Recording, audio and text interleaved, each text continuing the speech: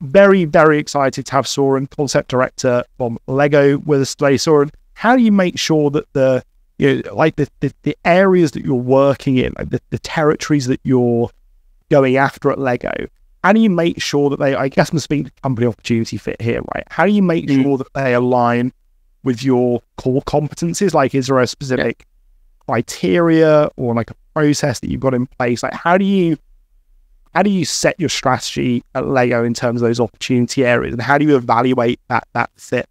No, so so basically, just want to start somewhere. We're saying, in it, it's all about innovation culture, and our mission in Lego is to inspire and develop the builders of tomorrow, and that has a huge impact in you would say the long term investment goals that we're bringing. So so you can say from a to your question, we have these overarching innovation goals: innovate play, innovate the ecosystem around us, digital transformation, positive impact to the world. No surprises there.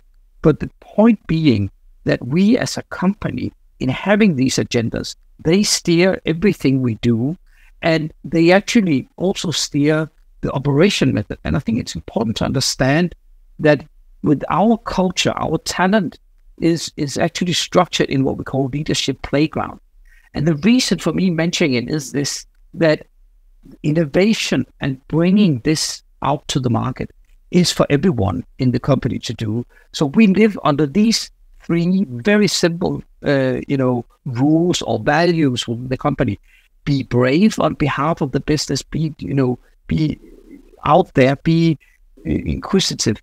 Be focused on what you do. And last but not least, be curious about the world and everything happening within it. So, so these values all together actually forms the way we distribute innovation. So as I mentioned before, it's actually been explaining quite simple. We've got when we got existing play and existing business, it's the core innovation. That's where we drive demand. This is, you know, I always use it as a sausage factory analogy because you kind of, you know, it's reducing risk, it's incremental innovation, it's based on time and what you do. But on the other hand, what we see is as soon as we move into new business, new play, that's when we need the front end innovation. And it's best depicted by just the hot dog stand. We're trying things out. You mentioned it, piloting, being constantly on the needs of people. So basically, you can say, if you look at it this way, then the, the core processes very much, you know, low waste. We're just innovating for where we are going. But when it comes to front innovation, that's really where we need the pioneering and creating the future play via radical uh, experience innovation. So, to you could say the first question here is really about the organizational strength, focusing on what are we good at, using the methods uh, that you also describe in being agile, in being inquisitive, in jobs to be done when we're uncovering new needs, but also be extremely firm when you are uh, driving the, the, the, core business, uh, when you know what you're doing. And, and that's where that has worked until now. But let me, uh, I think I'll come back later uh, a little bit on where, where's the future then heading.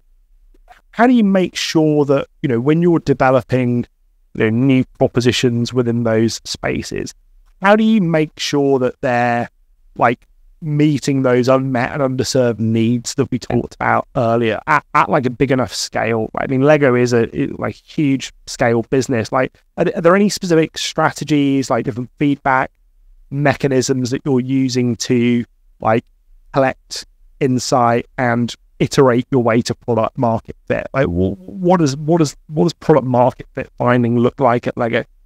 Mm. Uh, and uh, very good question. I think I think I I again here I I came prepared I a little bit on on how we operate, but I think what's essential back to also my intro is that we think and act audience first across everything we do. This is of course happening also in the sausage factory, but more so of course when we are uncovering new needs.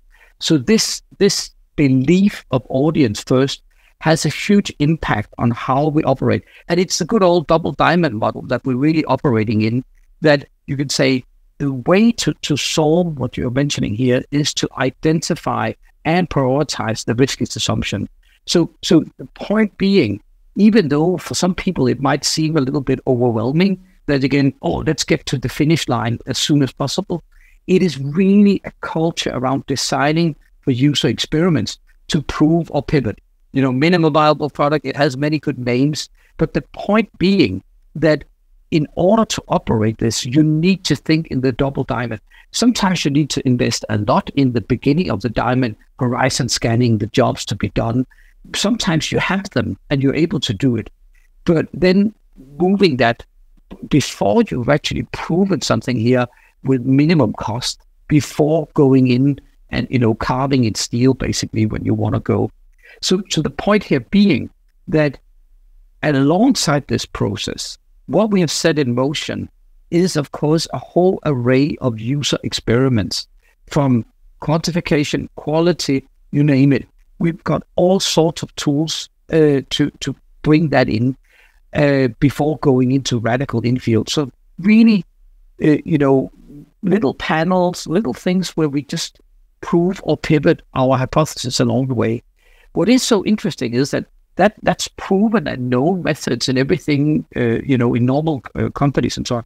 But what we've also seen in, in, in you know, in in our, uh, you would say, entrepreneurship or whatever we call it, that how we can use the same ethnographic methods of questions, being curious, being brave, actually with the stakeholders. So internal and external stakeholder design, lack of better term, but really using business unit markets and specialists and agencies to co-build this message. So what we've actually done in front-end innovation is to align both consumer integration, but certainly also all our experts within and within the vicinity of the company to build these cases along the way.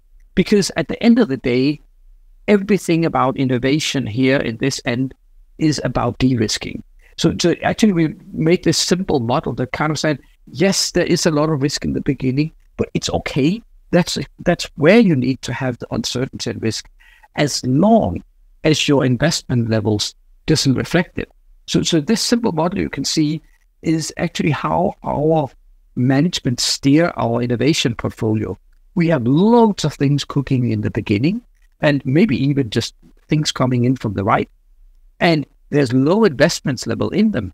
But as to, but as soon as you you start getting closer and closer we also increase investment and thereby also de-risk. So and it's it's very simple and then yes, very complex, but it's really that build-up that has really made our long-term investment valuable uh, because we rarely go to market with something that doesn't fit at all. It has happened. What, what's the kind of scale of concept testing and user research that's going on before market pilots in order to demonstrate mm. that product market fit? And I, I think actually it, it depends a lot on what we're doing but but you could say we we do already already in the first part of the double diamond go out and do something so, so we've set processes in motion where you can do you know uh, fake door you know online fake doors like would you be interested in a new service that blah blah blah just to get some steer and i think what what's really interesting it's not only about finding evidence and de-risking, it's about listening to consumers also brings you some huge aha moments in that phase of already uh, you know asking commercial questions early on. Like you know don't be afraid of going out and and mvping and trying very early. The worst thing that can happen is that you learn something. So I think that would be my major cry out here for everyone listening. Like experiment, apply an experiment, experimental culture in innovation. Try things out as soon as you can and go out and learn from it because it's both risky, de-risking, but it's certainly also improving your innovation. Can you talk to us about like some good examples of like products, services that you've been working on at Lego that really demonstrate like problem solution fit and, and like speak to what the kind of problem and, and kind of better solution looks like. Yeah. So uh, thanks. You know, I, I think again, it, it's a, of course a little bit difficult with a lot of things being secret. But I have I have a few examples of how we operate. One is the organization part of what this means. And then secondly, some examples of what we've actually built in, in thinking like this. Because as I mentioned before, so just starting there, in, in our field of operation, there is this, you know, division that we had uh, up until now. But what we've seen lately is actually that the world, and I think you alluded to as well, the world is changing so fast. Change is constant, and the risk of losing ground is so quick. So we have learned that that that, that not only in the the core innovation and the front innovation, you need to think ahead. So so as an example of successes, and I'll show you concretely what we did using this method. So please try it out and and tell me what you want. But that's basically my job now is to enable everyone everywhere to innovate from within. That's how we've set it up. And the reason for me telling you this is actually how efficient and how little waste you can create if we go in as internal consultant helping teams to find their jobs to be done, their the, the process. Not everyone can do the same thing, and they only need it ever so often. So we actually go in as innovation consultants and build that bridge between them because it's really all about future proofing the brands that's so essential for long term success. So, what this means in all simplicity is actually that any good example that I'll come to will need to be rooted in what we call the 3C innovation thinking. This simple model is how we help franchises within Lego, being that Lego City or whatever, to to start on the right foot. So, so I think my point to your to your question here, the best example I can give is where you have started on the right grounds before you race. So this, you know, toolbox here is about curating the knowledge and insights you have around what we call the three C's: consumer, commercial, and especially cultural insights. We are forgetting in innovation. We can know what consumers say, we can know what commercial goals we have, but the cultural changes around us, how what that uh, changes. So basically, example number one, what we identified in preschool is that the consumer, so the parents, they really want these four jobs to be done uh, for their kids. When we started looking at this and the portfolio we had, it was extremely clear that we were out of sync with where the parents want us to be. So that's a very consumery, but it's also very here and now. So again, in order to make that fit, both in commercial and cultural perspective, we have another example here where using this methodology, understanding, I know I don't have time to go through all the details of it, but, but in principle, just this thinking, if you can apply that, what do we know about the consumer? What are the jobs to be done? What commercial impact are we trying to change? But certainly, and we've seen this again and again, what are the cultural shifts happening out there that we should take uh, notice, uh, notice of? So a good example here is that Friends, Lego Friends, our girls line, and we, you know, we, we were allowed to say that in the beginning, it's a girls line, not anymore. Again, cultural shifts. But what was so interesting is that it's only 10 years old and it still looks dated. If you see here on, on the uh, on the left side. So what we did here was to apply, collect, and go out and research both the consumer, the commercial, and the cultural impact of the world in change, where empowerment of girls, in you know, you know, uh, DNI, all the things actually made us do a complete repositioning of the Friends band uh, brand towards a a, a friendship, uh, you know, uh, portfolio and so on and so on.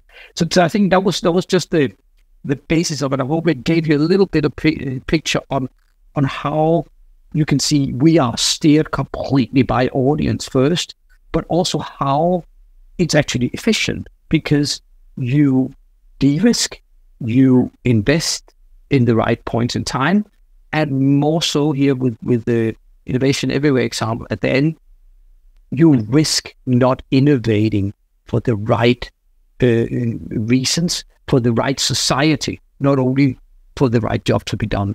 That I think is the huge, uh, one of the uh, largest changes in in uh, in our line of the business, and I'm sure in, in most of yours as well.